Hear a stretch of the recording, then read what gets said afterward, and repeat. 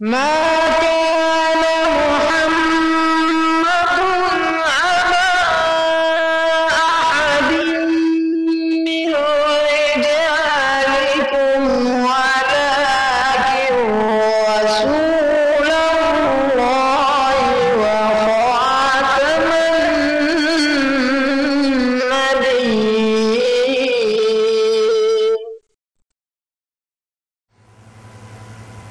அவுது பில்லாஹி மினஷைத்தான் ரஜீம். பிஸ்மில்லாய் ரஹ்மான் ரஹீம். அன்பிற்குரியவர்களே அஸ்லாம் வலைக்கும் வரமத்துல்லாஹி வபரகாத்துஹு. ஒவ்வொரு ஞாயிற்றுக்கிழமையும் காலை எட்டு மணி முதல் எட்டு முப்பது மணி வரை அஹ்மதியா முஸ்லீம் ஜமாத் வழங்கும் மாநபி சல்லல்லாஹ் அலைஹி அவர்கள் தந்த உண்மை இஸ்லாம் என்ற இந்த நிகழ்ச்சியை நீங்கள் பார்த்து கொண்டிருக்கிறீர்கள். இன்று இந்த நிகழ்ச்சியில் மனிதன் படைக்கப்பட்டதின் நோக்கம் என்ன? மனிதன் படைக்கப்பட்டதின் குறிக்கோள் என்ன? அந்த நோக்கத்தை அந்த குறிக்கோளை அடைவதற்கான வழிமுறைகள் என்ன? என்பது தொடர்பாக நாம் விரிவான முறையில் இங்கே விவாதிக்க இருக்கின்றோம். ஒவ்வொரு பொருளை படைக்கின்றவன்தான் அந்த பொருளை படைத்ததின் நோக்கத்தை கூற முடியும். அவ்வாறு இறைவன் மனிதனை படைத்திருக்கிறான் என்று சொன்னால் அந்த இறைவன்தான் அந்த மனிதனை படைத்ததற்கான நோக்கத்தை குறிக்கோளை கூற முடியும். அவையல்லாமல் அதை படைக்காத மற்றவர்களால் படைக்கப்பட்டதின் நோக்கத்தை கூற முடியாது. எனவே மனிதன் இந்த உலகத்தில் எந்த காரணத்திற்காக அனுப்பப்பட்டான் என்பதை இறைவன்தான் தெரிவிக்க வேண்டும். ஏனென்றால் இறைவன்தான் மனிதனை படைத்திருக்கின்றான். காரணம் எதுவுமின்றி அவன் ஒரு பொருளை படைப்பதில்லை. எனவே மனிதனை படைத்ததின் காரணம் என்ன? அந்த படைக்கப்பட்டதின் குறிக்கோளை அடைவதற்காக அவன் என்ன செய்ய வேண்டும்? என்பது குறித்து திருக்குருவான் என்ன சொல்லியிருக்கிறது என்பதை நாம் விளக்க வேண்டும். மனிதன் மனிதனுடைய இவ்வுலக வாழ்வின் நோக்கம் சம்பந்தமாக குர்ஆனில் அல்லாஹ் கூறுகிறான் ஒமா ஹலக்குத்துல் ஜின்னவல் இன்ச இல்லாலி அபுது மனிதர்களையும் ஜின்களையும் படைத்தது என்னே வணங்குவதற்கு மட்டும்தான் ஹதீஸில் வருது அல்லாஹ் மனிதனை படைப்பதற்கு காரணம் அல்லாவே அறிவதற்கு தான் நான் அறிய வேண்டும் என்பது நான் நினைத்தேன். அதற்கப்புறம்தான் மனிதனை படைத்தேன். இந்த ஆயத்தில் கூறிയിട്ടുള്ളത് அல்லாவே அறிவதும் அல்லாவே வணங்குவதும் அல்லாவே நேசிப்பதும். இந்த மூ நோக்கத்து இந்த நோக்கத்துக்கு தான் மனிதனை படைத்துள்ளேன். இந்த ஆயத்தில் பயன்படுத்தியுள்ள வார்த்தை இல்லாலிய அபுதூன் என்னே இபாதத்து செய்வதற்கு மட்டும்தான் என்பது வருது. விவாதத்து என்பது ஒரு விரிவான விளக்கம் அதுக்கு தேவை இருக்குது அப்படி ஒரு விளக்கம் இஸ்லாத்தில் கொடுக்கப்பட்டுள்ளது. விவாதத்து சம்பந்தமாக குர்ஆனில் பல்வேறு இடங்களில் எவ்வாறு விவாதத்து வரும் என்பது கூட விளக்கப்பட்டுள்ளது. அரபி அகராரின் அடிப்படையை நாம் பார்க்கும்போது விவாதத்தினுடைய ஒரு அர்த்தம் பணிவு காட்டுதல் என்பதாகும். அது எப்படி என்றால் நமக்கு கொடுத்த அனைத்து ஆற்றல்களும் சக்திகளும் எல்லாமே அல்லாஹ் கொடுத்தது தான் நம்ம கையில் தனியே எதுவுமே கிடையாது. பணிவு என்பது ஒரு தாழ்வு மனப்பான்மை கிடையாது. நமக்கு என்ன கிடைத்ததோ அது எல்லாமே இறைவன் தான் வழங்கியுள்ளான் என்ற அந்த நினைவு அந்த உணர்வு எப்பொழுதும் நம்ம உள்ளத்தில் இனிக்கும்போது ஒரு பணிவு வரும். அந்த பணிவு நாம் அல்லாவிடம் காட்ட வேண்டும். இது என்னுடையது மட்டும்தான் என்பது நாம் சொல்ல முடியாது. எல்லாமே அல்லாஹ் கொடுத்ததினால் அல்லாஹ் எப்படி விரும்புகிறானோ அவ்வாறு நாம் அதை செயல்படுத்த வேண்டும். இப் அப்பொழுதுதான் அவன் அந்த பணிவு காட்ட முடியும். இன்னொரு அர்த்தம் இபாதத்திற்கு அடையாளம் ஏற்றுக்கொள்வது என்பது கூட இருக்குது. உதாரணமாக அரபில் அத்தரீக்குல் முஹப்பது என்பது பயன்படுத்தியுள்ளது. வழி முஹப்பதான வழி. முஅப்பதான வழின்னு சொன்னால் மக்கள் நடந்து நடந்து அங்கே இருக்கிற மண் தூசி மாதிரி ஆகி பொடிஞ்சு அதில் நடக்கும்போது அவன் அதில் பாதத்தினுடைய அடையாளம் தான் பார்க்க முடியும். ஒரு மனிதன் அவனுடைய வாழ்க்கையில் அவன் செய்யக்கூடிய அனைத்து செயல்களும் இறைவனுடைய அடையாளம் காட்டக்கூடிய நிலைமையில் செய்யும்போது அது இபாதத்தாகி வரும். ஒராள் பேசினால் இறைவனுடைய ஞாபகம் நமக்கு வர வேண்டும். ஒராள் நடக்கும்போது இறைவனுடைய ஞாபகம் வரும். இறைவனுடைய அடையாளம் அதில் தெரியும். அவ்வாறுள்ள ஒரு வாழ்க்கைக்குள்ள பேர் தான் விவாதத்து என்பது. இன்னொரு அர்த்தம் கட்டுப்படுதல் என்பது கூட இருக்குது. கட்டுப்படுவது எப்படின்னு சொன்னால் அல்லாஹ் இவ்வுலகத்தை படைக்கும் போது அந்த படைப்பின் ஒரு நோக்கம் இருக்கிறது என்பது அல்லாஹ் கூறினான். அப்போ அல்லாஹனுடைய குண இயல்புகள் அல்லாஹனுடைய பண்புகள் அவனுடைய படைப்பில் வெளிப்பட்டுள்ளது. அல்லாஹனுடைய பண்புகள் வெளிப்பட்ட இவ்வுலகத்தை உதாரணமாக அல்லாஹனுடைய ஒரு பண்பு ரஹ்மான். அவன் எந்த ஒரு காரணவுமின்றி கருணை காட்ட காட்டுபவனாவான். ரஹீம் அவன் நம்ம செய்யக்கூடிய நற்செயல்களுக்கு விளைவு என்ற நிலைமையில் கருணை காட்டுபவனாவான். மீண்டும் மீண்டும் கருணை காட்டுபவனாவான். இந்த அர்த்தம் ரஹீமுக்கு இருக்குது. அப்போ அல்லாஹனுடைய இந்த பண்புக்கேற்பே தான் அல்லாஹ் இந்த உலகத்தை படைத்துள்ளான். அந்த பண்புக்கு இணங்க நாம் செயல்படும் போது அந்த பண்பை நாம் பயன்படுத்த முடியும். இன்னும் சொல்ல போனால் உலகத்தை நாம் பயன்படுத்த முடியும். அல்லாஹனுடைய ரஹ்மானா ரஹ்மான் என்ற பண்புக்கேற்ப அல்லாஹ் இந்த உலகத்தை படைத்து நமக்கு ஆற்றல்கள் கொடுத்தது அந்த ரஹ்மான் என்ற பண்புக்கேற்ப நாம் அதுக்கு இணங்க நாம் வாழும்போது அந்த பண்பு முழுக்க முழுக்க நாம் பயன்படுத்துவதற்குள்ள தகுதி நமக்கு கிடைக்கும். இவ்வாறு அல்லாஹனுடைய ஒவ்வொரு பண்புக்கேற்பவும் நாம் நம்ம வாழ்க்கையை அமைக்கும் போது நம்ம வாழ்க்கையுடைய உண்மையான அந்த நோக்கத்தை நிறைவேற்றுவதற்கு நாம் அல்லாவை கட்டுப்பட்டு நடக்கக்கூடிய நிலைமையில் வரும். அல்லாஹனுடைய பண்புகள் கேற்ப நடக்கும்போது அல்லாவை நாம் கட்டுப்படுவோம். இந்த நிலைமையில் இந்த மூணு அர்த்தமும் நாம் கட்டுப்படுதல் என்பதும் பணிவு காட்டுதல் என்பதும் அடையாளம் ஒப்புக்கொள்ளுதல் அந்த அடையாளங்களை ஏற்றுக்கொள்வது இந்த மூணு அர்த்தத்திலும் இபாதத்து அரபியில் கூறப்படும். இந்த மூணு அர்த்தத்திலும் இபாதத் சம்பந்தமாக குர்ஆனில் பல்வேறு இடங்களில் கூறப்பட்டுள்ளது. திருக்குர்வானினுடைய ஐம்பத்தி ஓராவது அதிகாரம் ஐம்பத்தி ஏழாவது வசனத்தில் இறைவன் மனிதனை படைக்கப்பட்டதின் நோக்கத்தை குறிப்பிடுகின்றான். அந்த வசனத்தில் இறைவன் நான் மனிதர்களையும் ஜின்களையும் என்னை வணங்குவதற்காக படைத்திருக்கிறேன் என்று குறிப்பிட்டிருக்கிறான். எனவே இன்று அழகான முறையில் இறைவனை வணங்குதல் அவனை இபாதத் செய்தல் என்பது தொடர்பாக இங்கே விளக்கினீர்கள். இப்போது இந்த இபாதத் தொடர்பாக இன்னும் வணங்குதல் தொடர்பாக இறைவனை அடைவதற்காக அவனை வணங்குதல் தொடர்பாக அந்த இபாதத் செய்வது தொடர்பாக இன்னும் சிறிது விளக்கினால் மிகவும் நன்றாக இருக்கும். மனித படைப்பின் நோக்கம் என்ன என்பதை பற்றித்தான் நாம் பேசி வருகின்றோம். அதில் சுருக்கமாக இபாதத் என்று பொதுவாக மக்கள் கூறிவிடுகின்றார்கள். இதற்கு தமிழில் இறை வணக்கம் என்று நாம் சொல்லிவிடுகின்றோம். ஆனால் இந்த இபாதத் என்ற இந்த அரபி சொல்லுக்கு இறை வணக்கம் என்ற இந்த ஒரு பொருள் மட்டும் அல்ல மாறாக இதற்கு பல ஆழிய கருத்துகள் இருக்கின்றன. அதில் ஒரு சில கருத்தை தான் மௌலவி மஹமூத் சாஹிப் அவர்கள் மிக விளக்கமான முறையில் எடுத்துரைத்தார்கள். இதே போன்று திருக்குறானில் பல்வேறு இடங்களில் இறைவன் இபாதத்தை பற்றி மிக விளக்கமான முறையில் எடுத்து கூறியிருக்கின்றான். இபாதத்தை பற்றி இஸ்லாமிய தத்துவத்தை பொறுத்தளவில் அல்லாஹ் திருக்குரான் அதிகாரம் மூன்று வசனம் இருபதில் குறிப்பிடுகின்றான் இன்ன தீனா இந்தல்லாஹில் இஸ்லாம். நிச்சயமாக மார்க்கம் என்பது அல்லாவிடத்தில் இஸ்லாமாக இருக்கின்றது. இங்கேயும் இஸ்லாம் என்பது கட்டுப்படுதல் இறைவனுக்கு முழுமையான முறையில் அடிபணிதல் என்ற அந்த அர்த்தத்தில்தான் வந்திருக்கின்றது. ஆக ஏற்கனவே நாம் குறிப்பிட்டது போல இபாதத் என்பது இறைவனுக்கு கட்டுப்படுதல் இறைவனுடைய பண்புகளை ஒரு மனிதன் தானும் ஏற்று நடத்தல் அந்த பண்புகளை மக்களுக்கு முன்னால் வெளிப்படுத்துதல் என்பதைத்தான் இந்த திருவசனமும் நமக்கு எடுத்து கூறுகின்றது. ஆக இஸ்லாம் என்பதற்கு இவ்வளவு ஆழிய கருத்துகள் இருக்கின்றன. இதைத்தான் அல்லாஹ் திருக்குரானில் இன்னொரு வசனத்திலும் ஃபித்ரத் அல்லா ஹில்லத்தி ஃபத்தரன்னாச அலேஹா என்று கூறுகின்றான். அதாவது அல்லாவுடைய இயல்பை ஏற்று நடங்கள். ஃபித்ரத் என்ற வார்த்தை இறைவன் அங்கு கையாண்டிருக்கிறான். அல்லாவுடைய இயல்பு எதுவோ அதனை நீங்கள் ஏற்று நடங்கள்.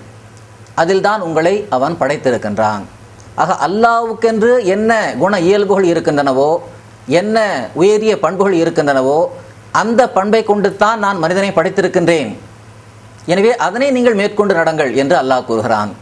ஆக ஒரு மனிதனிடமிருந்து வெளிப்படுகின்ற அந்த பண்பு இறை பண்பாக இருக்க வேண்டும்.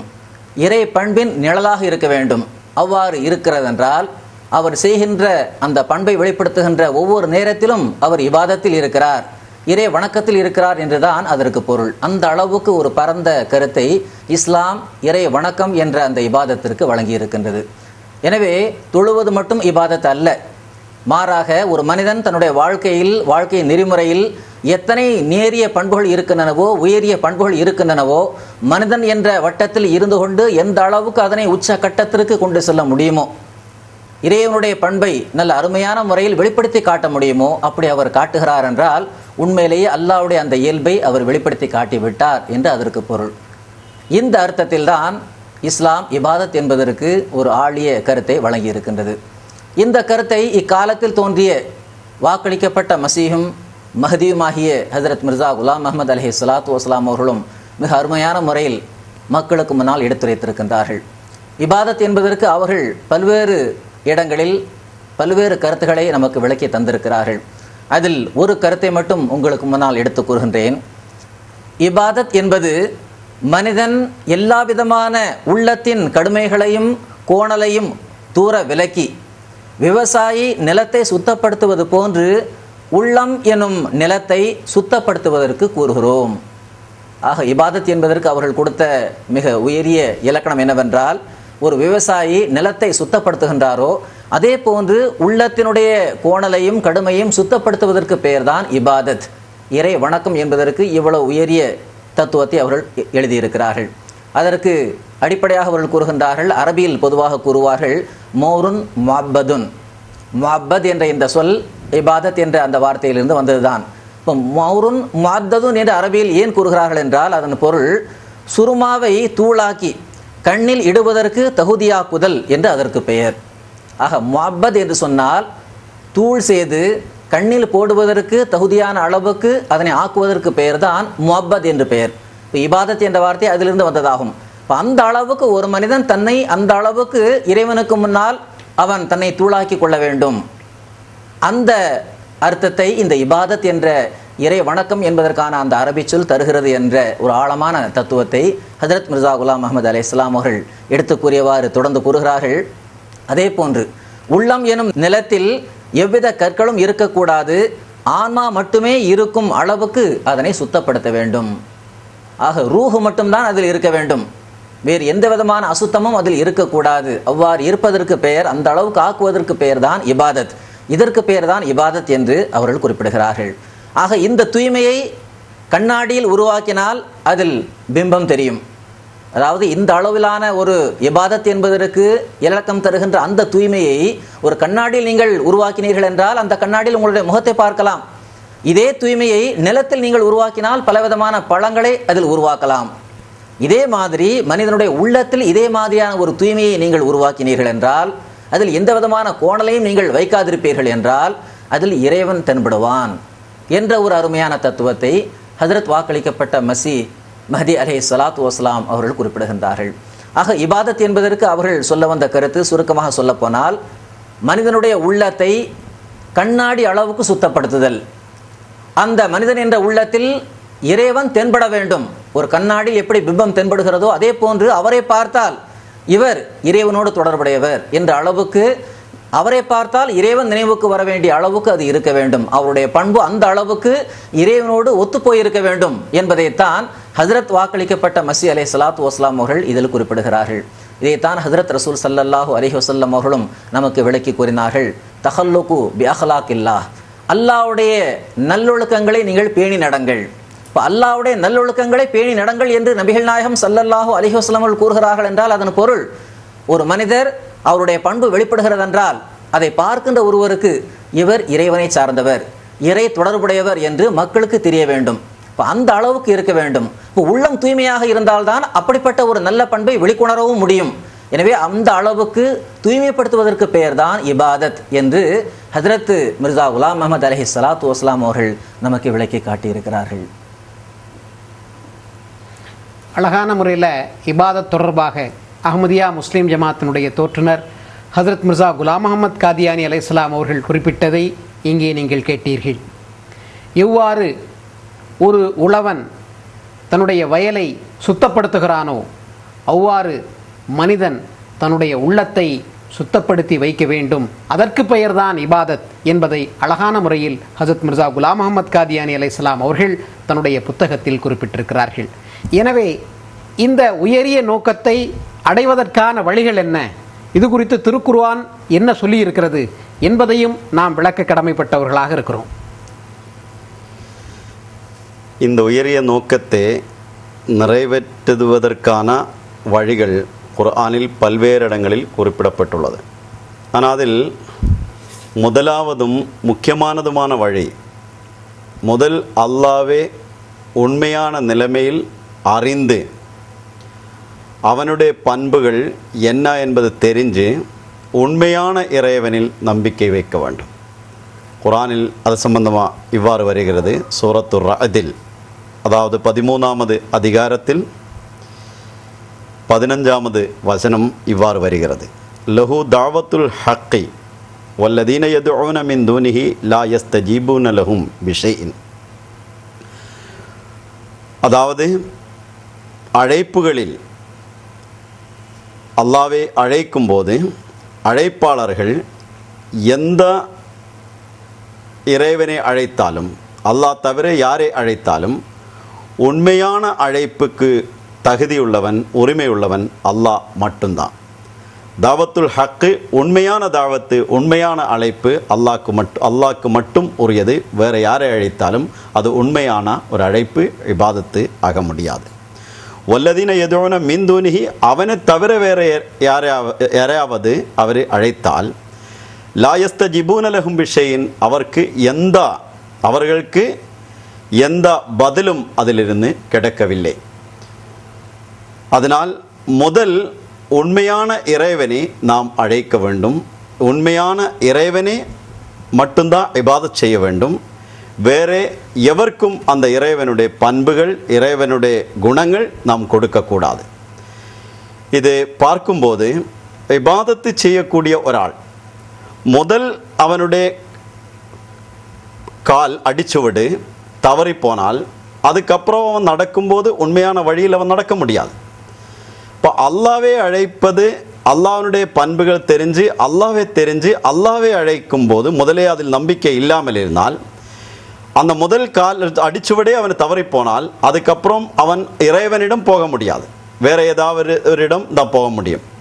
உண்மையான இறைவனை அழைக்காமல் வேற ஏதாவது படைப்பினங்களை அழைத்தால் அவனுடைய முதல் அடிச்சுவிடே தவறி போகிறது. இப்போ மனிதகுமாரனே அல்லது பறவைகளே சிலைகளே பல்வேறு படைப்பினங்களே படைத்த பொருள்களே அழைக்கக்கூடிய மக்கள் இருக்கின்றார்கள். அவருடைய அந்த அழைப்பில் அவங்களுக்கு ஒரு இன்பமும் இருக்கிறது ஒரு மகிழ்ச்சியும் கிடைக்கிறது. ஆனால் அந்த மகிழ்ச்சி நிரந்தரமான நிலைமையில் நிற்க முடியாது.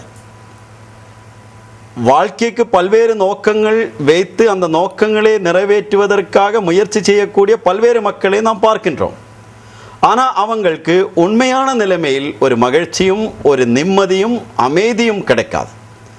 காரணம் மனிதனுடைய இயல்பில் அல்லாவே அடைவதற்கான ஆற்றல்களும் அதுக்கான பண்புகளும் அல்லாஹ் கொடுத்து தான் படைத்துள்ளான்.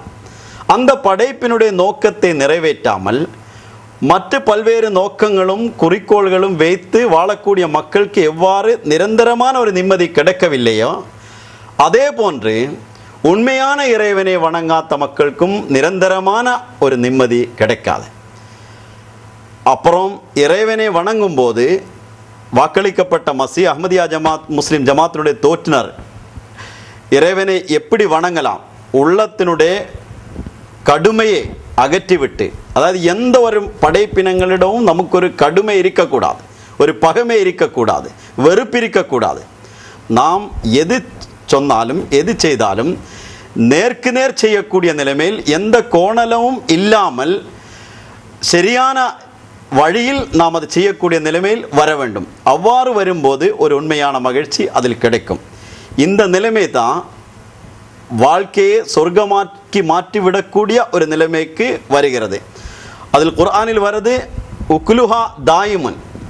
அந்த மரங்களில் எல்லா நேரமும் பலன் கிடைக்கக்கூடிய மரங்களாய் விடும் என்று. அந்த நிலத்தில் பூமி நிலத்தில் உழுது அதில் விளை போட்டால் ஒரு விவசாயிக்கு அதில் மரம் வந்து அதில் பலங்கள் கிடைக்கக்கூடிய நிலைமையில் ஆகும்போது இதே போன்று உள்ளத்தை உழுது அதிலுள்ள கடுமைகளும் வெறுப்புகளும் எல்லாம் அகற்றிவிட்டு அதில் வரக்கூடிய ஒரு மரம் இருக்குது. அந்த மரத்தில் வரக்கூடிய பலங்கள் உக்லுஹா தாயிமுன் குரானில் வருது எல்லா நேரங்களிலும் அந்த பலன் இருக்கும். எப்பொழுதும் நிலைத்திருக்கக்கூடிய ஒரு நிலைமை அது வரும். இதுக்கு முதல் அந்த இறைவனிடம் முழுமையான சரியான ஒரு நம்பிக்கை வேண்டும். அந்த இறைவனை வேற எதையும் சேர்க்காமல் இறைவனுடைய பண்புகள் வேற யாருக்கும் கொடுக்காமல் இறைவனுடைய பண்புகள் நிரந்தரமான இறைவனுடைய பண்புகள் வேற யாருக்குமே கொடுக்காமல் அதே போன்று மற்றொராளை இறைவனாகி வைக்காமல் இருக்க வேண்டும். இப்பொழுது பல்வேறு மக்கள் அல்லாஹ் பேச மாட்டான்னு சொல்றான். அல்லாஹனுடைய பண்பு முத்தக்கல்லிம் அவன் பேசுவான் பேசக்கூடியவன். அந்த பண்பு இல்லாமல் ஒரு இறைவன் இருக்கிறான் சொன்னால் முன்னாடி அந்த பண்பு இருந்தது. அல்லாஹ் பேசுகிறான் அல்லாஹ் பேசிக்கொண்டிருந்தான். அனைத்து தூதர்களிடமும் பேசிக்கொண்டிருந்தான். இப்பொழுது அவன் பேச மாட்டான் சொன்னால் அந்த பண்பு அல்லாஹனுடையது அழிஞ்சு போயிருச்சு. ஒரு குணம் ஒரு பொருளுடைய அழியக்கூடியதாக இருந்தால் கண்டிப்பாக அந்த பொருள் முழுக்க முழுக்க அழியும் என்பதில் எந்த சந்தேகமும் கிடையாது. இது லாஜிக்கல் ஒரு தத்துவம். அந்த தத்துவத்தின் அடிப்படை அல்லாஹனுடைய முத்தக்கல்லிம் என்ற சிஃபத்து அல்லாஹனுடைய பேசக்கூடியவன் என்ற பண்பு அழிஞ்சு போனால் அதை நிப்பாட்டினால் கண்டிப்பாக அல்லாஹனுடைய மற்ற பண்புகளும் அழிஞ்சு போயிடும் அல்லாவே அழிஞ்சு போயிடுவான் என்ற தத்துவத்தில் அதனுடைய முடிவு வரும். அப்போ மக்கள் அல்லாவே அழைக்கும் போது உண்மையான இறைவனை அழைக்கிறதாக இருந்தால் உஜீபு தாவத்ததாய் என்னை அழைக்கிறவனு நான் பதிலளிப்பேன் என்று அல்லாஹ் கூறியதன் அடிப்படை. முத்தக்கல்லின் பேசக்கூடிய ஒரு இறைவனை நினைத்து தான் அழைக்க வேண்டும். பேசாத ஒரு இறைவனை நினைத்து அழைக்கும் போது அந்த உண்மையான இறைவனை அவன் அழைக்க முடியாது. இவ்வாறு அல்லாஹனுடைய ஒவ்வொரு பண்பும் புரிஞ்சு அறிந்து அல்லாஹுக்கு இபாதத் செய்யறதா உண்மையான இபாதத்து ஆக முடியும்.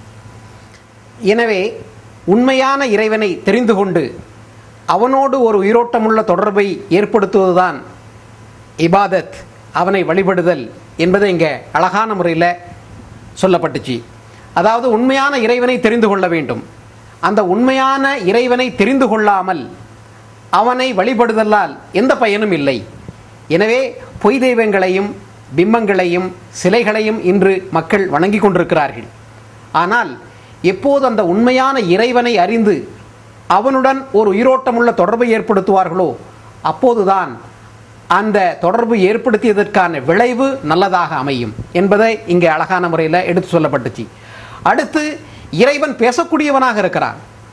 இறைவன் மக்களுடைய குறைகளை அவனிடம் சொல்லுகின்ற பொழுது அதனை செவிசாய்த்து கேட்கக்கூடியவனாக இறைவன் இருந்து கொண்டிருக்கிறான். இறைவன் முத்தக்கல்லீம் அவன் பேசக்கூடியவன். ஆனால் இன்று முஸ்லீம்களில் அஹ்மதியா முஸ்லீம் ஜமாத்தை தவிர மற்றவர்கள் இறைவன் அன்று பேசிக் கொண்டிருந்தான். இன்று பேசுவதில்லை என்ற கொள்கையுடையவர்களாக இருந்து கொண்டிருக்கிறார்கள். மற்ற மக்களும் இறைவன் பேசுவதில்லை என்ற கருத்தை கொண்டவர்களாக இருந்து கொண்டிருக்கிறார்கள். ஆனால் இறைவனுடைய பண்பு அவன் பேசக்கூடியவன். அவன் அன்றும் பேசினான் இன்றும் பேசுகின்றான் என்றும் பேசிக் கொண்டிருப்பான். இதுதான் இறைவனுடைய பண்பு. எனவே அந்த பேசக்கூடிய இறைவனுடன் நாம் தொடர்பை ஏற்படுத்தி கொள்ள வேண்டும் என்பதை இங்கே அழகான முறையிலே எடுத்துச் சொல்லப்பட்டது. அது மட்டுமல்லாத பேசாத இறைவனிடம் நாம் என்ன கேட்டாலும் அதில் எந்த பதிலும் கிடைக்காது அதில் எந்த பிரயோஜனமும் இருக்காது. எனவே நாம் இந்த நிகழ்ச்சியில் இந்த இபாதத் தொடர்பாக அந்த பேசக்கூடிய இறைவனுடன் நாம் எவ்வாறு தொடர்பை ஏற்படுத்துவது என்பது தொடர்பாக இன்னும் நாம் விளக்க கடமைப்பட்டவர்களாக இருக்கிறோம். இபாதத் இறை வணக்கம் என்பதனுடைய ஆழிய கருத்துக்களை உங்களுக்கு முன்னால் எடுத்து கூறிக்கொண்டிருக்கின்றோம். அந்த அடிப்படையில்தான் இறைவனுடைய பல்வேறு பண்புகளை சரியான அர்த்தத்தில் நாம் புரிந்தால்தான் இபாதத் என்ற இந்த இறை வணக்கத்தையும் சரியான முறையில் ஒரு மனிதன் செய்ய முடியும் என்பதற்காகத்தான் இறைவனுடைய பண்புகளையும் நாம் தற்போது எடுத்து பேசிக்கொண்டிருக்கின்றோம். அதில் ஒரு பண்புதான் அல்லாஹ்வுடைய ஒரு பண்பு முத்தக்கல்லிம் என்பதாகும். அதாவது அவன் பேசக்கூடியவன். இந்த முத்தக்கல்யம் என்ற இந்த பண்பு அல்லாஹ் என்றென்றும் பேசக்கூடியவன் என்ற அந்த கருத்தை தான் தருகிறது. அன்றும் பேசினான் இன்றும் பேசுகிறான் இனியும் பேசுவான் என்றும் பேசுவான் என்றுதான் அதற்கு பொருள். ஆனால் அமீர் சாஹிப் அவர்கள் குறிப்பிட்டது போல அஹ்மதியா முஸ்லிம் ஜமாத்தை தவிர இன்று முஸ்லிம்களில் எல்லோருமே இறைவன் இன்று பேசுவதில்லை அவன் பேசுவதை நிறுத்திவிட்டான் என்று தான் நம்பி வைத்திருக்கிறார்கள். ஆனால் திருக்குறானோ அவ்வாறு பேசாமல் இருப்பது பேச சக்தி இல்லாதது அது ஒரு பொய் சிலையாகத்தான் இருக்க முடியுமே தவிர இறைவனாக இருக்க முடியாது என்பதை திருக்குரானில் ஹதரத் இப்ராஹிம் அலை இஸ்லாம் அவர்கள் எடுத்துரைத்த அந்த சான்றை இறைவன் பதிவு செய்து வைத்திருக்கிறான். திருக்குரான் அத்தியாயம் இருபத்தி ஒன்று வசனம் ஐம்பத்தி எட்டு முதல் அறுபத்தி ஏழு வரை நீங்கள் படித்து பார்த்தால் உங்களுக்கு தெரிய வரும். அந்த சம்பவம் எல்லோருக்கும் தெரியும் தான் ஹதரத் இப்ராஹிம் அலி இஸ்லாம் அவர்கள் அந்த சிலை வணக்கத்தை ஒழிப்பதற்காக பாடுபடுகிறார்கள். அப்போது அவர்கள் எல்லா சிலைகளையும் அழித்துவிட்டு ஒரு பெரிய சிலையின் மீது தன்னுடைய அந்த வாளை போட்டு விடுகின்றார்கள். போட்டுவிட்டு அவர்களை விட்டு விடுகிறார்கள். மக்கள் பார்க்கின்றனர். யார் இதனை செய்தது என்று கேட்கின்றனர். அப்போது ஒரு வாலிபர் தான் இந்த சிலைகளை பற்றி பழித்துரைத்து வந்தார். எனவே அவர்தான் செய்திருக்க வேண்டும் என்று மக்கள் கணிக்கின்றனர். அவரை கூப்பிட்டு கேட்கின்றனர். ஹதரத் இப்ராஹிம் அலை இஸ்லாம் அவர்கள் அதற்கு பதிலும் சொல்கிறார்கள். என்ன சொல்கிறார்கள்? திருக்குரானில் அல்லாஹ் பதிவு செய்து வைத்திருக்கிறான். கபீரும் ஹாசா இந்த சிலைகளிலேயே பெரிதாக இருக்கிறதே இந்த சிலை. இதனிடம் கேட்டு பாருங்கள். யார் இந்த சிலைகளை வெட்டினார்கள் என்று அது சொல்லுமே என்று அந்த இப்ராஹிம் அலே இஸ்லாம் அவர்கள் கேட்க கேட்கிறார்கள். இதை கேட்ட அந்த காஃபிர்கள் சிலை வணங்கிகள் சொல்கிறார்கள் இந்த சிலைகள் பேசாது என்பது உங்களுக்கு தெரியாதா? என்று சொல்கிறார்கள். ஆக சிலைகளால் அந்த பொய் தெய்வங்களால் பேச முடியாது என்பதை அந்த வணங்கிகளும் அந்த பொய் தெய்வத்தை வணங்கக்கூடியவர்களும் நம்பி வந்தார்கள். அப்போது ஹஜரத் இப்ராஹிம் அலி இஸ்லாம் அவர்கள் செய்த அந்த பதிலை அல்லாஹ் பதிவு செய்து வைத்திருக்கிறான். அதில் அவர்கள் கூறுகின்றார்கள் காலா அதாபுதூன மிந்தூனில்லாஹி மாலா என்ஃபோக்கும் ஷயம் வலா எலுருக்கும் அதாவது எது உங்களுக்கு நன்மை வைக்க முடியாதோ தீமையும் தர முடியாதோ? அப்படிப்பட்ட ஒன்றையா நீங்கள் அல்லாவை விட்டு விட்டு வணங்குகின்றீர்கள்? அதாவது அல்லாஹ் தான் உண்மையான தெய்வம் அல்லாஹ் தான் உண்மையான முறையில் இறைவனாக இருக்கின்றான். அந்த இறைவனை விட்டுவிட்டு எந்த பயனையும் எந்த நஷ்டத்தையும் தர முடியாத இந்த சிலைகளை நீங்கள் வணங்குகின்றீர்களா? என்று ஹசரத் இப்ராஹிம் அலி இஸ்லாம் அவர்கள் கேட்கிறார்கள். இப்போ இந்த சம்பவத்தில் மூன்று விஷயங்கள் ஹஜரத் இப்ராஹிம் அலி இஸ்லாம் அவர்களால் பொய் கடவுளுக்கு சான்றாக எடுத்துரைக்கப்பட்டிருக்கிறது. ஒரு பொய் கடவுள் என்றால் அதனால் எந்த பயனையும் மக்களுக்கு தர முடியாது. ஒரு பொய் தெய்வம் என்றால் அது எந்த விதமான நஷ்டத்தையும் கூட மனிதனுக்கு தர முடியாது. ஒரு பொய் தெய்வம் என்றால் அதனால் பேச முடியாது. இந்த அளவுக்கு ஒரு பொய் தெய்வத்துக்கு ஒரு இலக்கணமாக ஹஜரத் இப்ராஹிம் அலை இஸ்லாம் அவர்கள் வாயிலாக சொன்ன ஒரு விஷயத்தை அல்லாஹ் திருக்குரானில் பதிவு செய்திருக்கின்றான். எனவே நிச்சயமாக இறைவன் உண்மையான இறைவனாக இருக்கும்போது நிச்சயமாக அவனுடைய இந்த முத்தக்கல்லிம் என்ற இந்த பண்பு நேற்றும் இருந்தது இன்றும் இருக்கிறது இனிமேலும் இருக்கும் மறுமை வரை இருக்கும் என்ற ஒரு கருத்தும் இதன் மூலமாக நாம் தெளிவான முறையில் தெரிந்து கொள்ள முடிகின்றது. ஏனென்றால் பொய் கடவுள்களாக தான் இப்படிப்பட்ட பேசக்கூடிய திறமை இல்லாமல் இருக்கிறார்கள். எனவே அவர்கள் பேசுவதற்கு திறமை இல்லாத காரணத்தினால்தான் அவர்கள் பொய் கடவுளர்கள் என்ற அளவுக்கு கூட ஹதரத் இப்ராஹிம் அலி இஸ்லாம் அவர்களால் எடுத்துரைக்கப்பட்டிருக்கும் நிலையில் இன்று முஸ்லிம்கள் உட்பட இறைவன் இன்று பேசுவதில்லை என்று கூறுகிறார்கள் என்றால் எந்த அளவுக்கு அவர்கள் திருக்குறானை விட்டு விலகி சென்றிருக்கிறார்கள்? இப்போ இபாதத் என்பதற்கு எந்த அளவுக்கு அவர்கள் தவறான கருத்து கொடு- கொடுத்திருக்கிறார்கள்? இபாதத் என்பனுடைய முழுமையான அந்த கருத்தத்தை அவர்கள் புரியவில்லை என்பதை நாம் எடுத்து கூறி வருகின்றோம். இன்றும் கூட ஹஜரத் மிர்சா குலாம் அஹமது அலி சலாத்து வஸ்லாம் அவர்கள் இறைவன் பகமிருந்து வந்து இந்த அசல் கருத்தை நமக்கு முன்னால் எடுத்து கூறியதன் காரணமாகத்தான் இன்று அஹ்மதியா முஸ்லிம் ஜமாத் மட்டும் இந்த தௌஹீதில் நிலைத்திருக்கின்றது. அதாவது இறைவன் பேசக்கூடியவன். அந்த பேசக்கூடிய ஆற்றல் இறைவனுக்கு மட்டும்தான் உண்டு. பொய் கடவுளுக்கு இல்லை. எனவே இன்று நிச்சயமாக இறைவன் இன்றும் பேசிக்கொண்டிருக்கிறான் அவ்வாறு உரையாடி கொண்டிருக்கின்றான் அப்படிப்பட்ட மக்கள் இந்த உம்மத்திலும் இருக்கிறார்கள் என்று நம்பக்கூடிய ஒரே பிரிவு இன்று இருக்கிறது என்றால் அது அஹ்மதியா முஸ்லிம் ஜமாத்தில் மட்டும்தான். எனவே பேசக்கூடிய இறைவன் என்ற அடிப்படையில் நாம் இறைவனை புரிந்து வைத்திருக்கின்றோம். இவ்வாறு இறைவனுடைய அந்த பண்புகள் அவனுக்கு கொடுக்க வேண்டிய தகுதிக்கு ஏற்ப அவனுக்கு கொடுத்தல் அவன் எந்த அளவுக்கு அந்த பண்புகளை கொண்டிருக்கின்றானோ அதற்கு ஏற்ப புரிந்து வைத்தல் இதற்கு பேர்தான் இபாதத். இந்த இபாதத்தை வழிநடத்துவதற்காக இந்த இபாதத்தை சொல்லிக் கொடுப்பதற்காகத்தான் நபிமார்கள் வருகின்றார்கள். இந்த அடிப்படையில் இமாம் மஹதி அலி சலாத்து வஸ்லாம் அவர்கள் வருவதாக ஹஜரத் நபிகள் நாயகம் சல்லல்லாஹு அலி வஸ்லாம் அவர்கள் ஏற்கனவே முன்னறிவித்திருக்கிறார்கள். மஹதி என்றாலே ஹிதாயத்தை பெற்றவர் என்று பொருள். இப்போ அந்த இறைவனிடமிருந்து அந்த ஹிதாயத்தை பெற்று இந்த விஷயத்தை நமக்கு சொன்னதன் காரணமாகத்தான் உண்மையிலேயே இறைவன் முத்தக்கல்யமாக இருக்கிறான். இறைவன் இன்றும் பேசக்கூடியவனாக இருக்கிறான். அவன் பொய் தெய்வங்களைப் போன்று பேசாமல் இல்லை என்ற ஒரு நல்ல முடிவுக்கு இபாதத்தின் அந்த உயரிய கருத்துக்கு அஹ்மதியா முஸ்லிம் ஜமாத் வந்திருக்கிறது என்று நாம் சொல்ல கடமைப்பட்டிருக்கின்றோம். அழகான முறையில் இங்கே விளக்கினீர்கள். ஹஜரத் இப்ராஹிம் நபி அலையாம் அவர்களுடைய அந்த சம்பவத்தையும் எடுத்து கூறுகினீர்கள் எனவே பேசக்கூடிய அந்த இறைவனோடு நாம் தொடர்பை வலுப்படுத்தி கொள்ள வேண்டும். பேசாத இறைவனால் ஒன்றும் செய்ய முடியாது. அவனுக்கு எந்த சக்தியும் கிடையாது பேசாத இறைவன். எனவே பேசக்கூடியவன் இறைவனாக இருக்கிறான். அவனுடைய பண்பு பேசக்கூடிய பண்பாக இருக்கிறது. அவன் என்றும் பேசிக் கொண்டிருப்பான். அந்த இறைவனோடு நாம் தொடர்பை ஏற்படுத்தி கொள்ள வேண்டும். எனவே பேசாத இறைவன் உண்மையான இறைவனாக இருக்க முடியாது என்பதை திருக்குர்வானிலிருந்து நாம் புரிந்து கொண்டிருக்கிறோம். எனவே அன்பிற்குரிய சகோதரர்களே இன்று நாம் இந்த நிகழ்ச்சியில் மனிதன் படைக்கப்பட்டதின் நோக்கம் என்ன? மனிதன் படைக்கப்பட்டதின் குறிக்கோள் என்ன? அந்த குறிக்கோளை அந்த நோக்கத்தை அடைவதற்காக அவன் செய்ய வேண்டிய வழிமுறைகள் என்ன என்பது தொடர்பாக விரிவான முறையில் இங்கே நாம் விளக்கியிருக்கிறோம்.